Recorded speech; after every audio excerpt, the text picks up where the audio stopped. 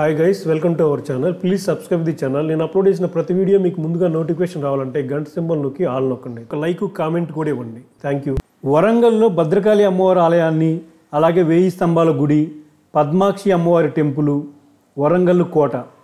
ఇవన్నీ చూసుకున్న తర్వాత వరంగల్ నుంచి డెబ్బై కిలోమీటర్ దూరంలో ఉన్న లక్నవరం సరస్సు దగ్గరికి వచ్చాను. ఇప్పుడు నేను బుస్సాపూర్ అనే ఒక విలేజ్ దగ్గర ఉన్నా.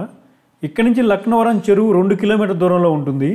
ఈ ఊర్లో గుండా వెహికల్ వెళ్ళాలంటే బైక్ ఇరవై రూపాయలు ఆటోకి ముప్పై రూపాయలు కారుకి యాభై రూపాయలు బస్సుకి వంద రూపాయలు ఇవ్వాలి.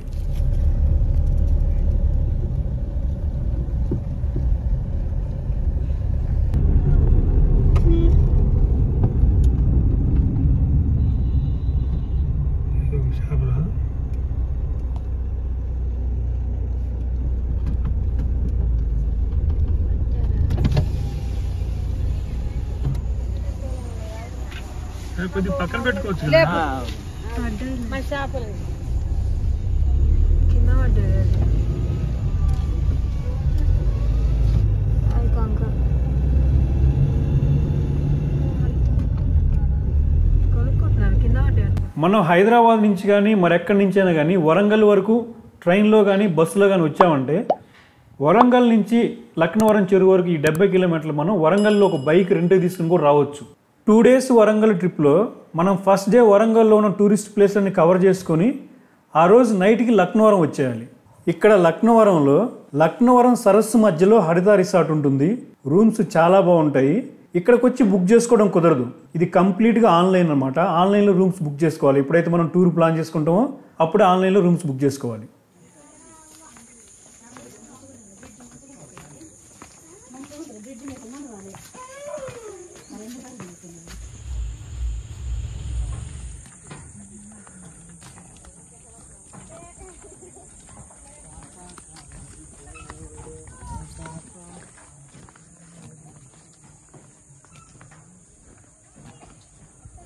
పదమూడవ శతాబ్దంలో ప్రతాపరుద్రుడు ఈ చెరువును తవ్వించాడు. మొత్తం పదివేల ఎకరాల విస్తీర్ణంలో చెరువు ఉంటుంది. మూడు వేల ఐదు వందల ఎకరాలకి సాగునీరు అందిస్తుంది. ఈ లక్నవరం చెరువులో మొత్తం పదమూడు ద్వీపాలు ఉన్నాయి అంటే చుట్టూ వాటర్ ఉండి మధ్యలో కొండల్లాగా పదమూడు ఉన్నాయి. ఒక మూడు ద్వీపాలను మాత్రమే కలుపుతూ నూట అరవై మీటర్ల పొడవున్న ఈ సస్పెన్షన్ బ్రిడ్జ్లు ఉన్నాయన్నమాట ఈ కేబుల్ బ్రిడ్జ్లు.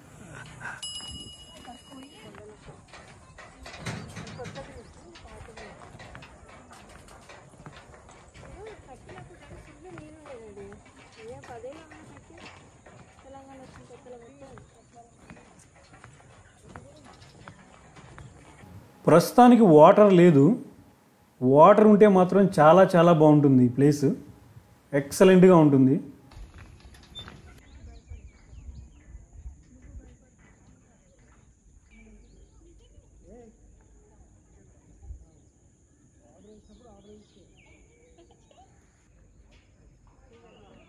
ఇప్పుడు మనం కేబుల్ బ్రిడ్జ్ మీదుగా ఈ లక్నవరం సరస్సు మధ్యలో ఉన్న రూమ్స్ దగ్గరికి వచ్చాము.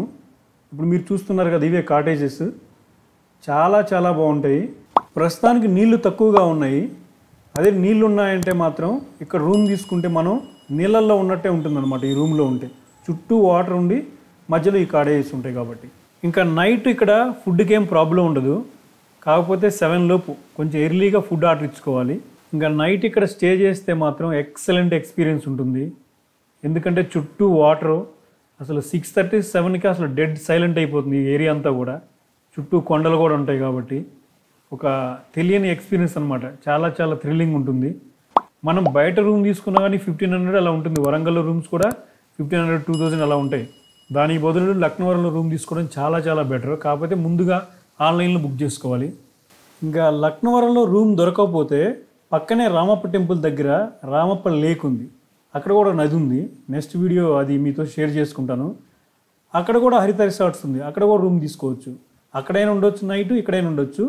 ఇదైతే బెస్ట్ అనమాట ఆ రూమ్ కూడా బాగానే ఉంటాయి. నెక్స్ట్ ఆ వీడియోస్ షేర్ చేసుకుంటాను మీతో.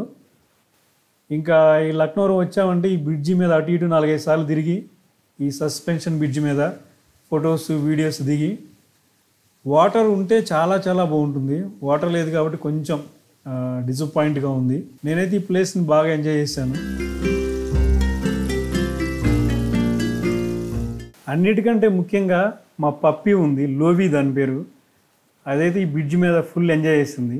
నెక్స్ట్ వీడియోలో మనం రామప్ప టెంపుల్ అలాగే రామప్ప టెంపుల్ పక్కన ఉన్న రామప్ప లేక్ అక్కడ కూడా ఒక సరస్సు ఉంది. అక్కడ కూడా కాటేజెస్ ఉన్నాయి. నెక్స్ట్ వీడియోలో ఆ విషయాలు మీతో షేర్ చేసుకుంటాను. Thank you friends thank you for watching next వీడియోలో మళ్ళీ కలుగుతాం